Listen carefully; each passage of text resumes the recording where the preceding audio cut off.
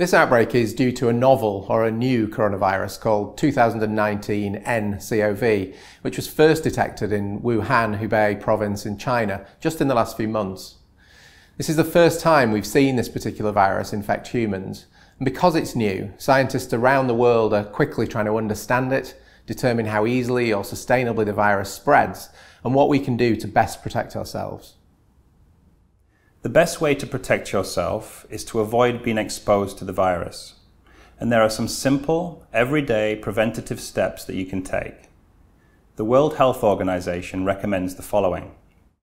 Wash hands often with soap and water, or use an alcohol-based hand sanitizer, especially when soap and water are not available.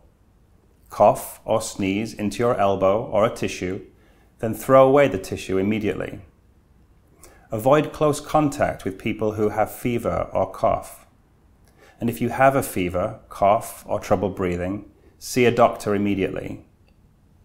When visiting live markets in areas currently experiencing cases of the novel coronavirus, avoid direct contact with live animals.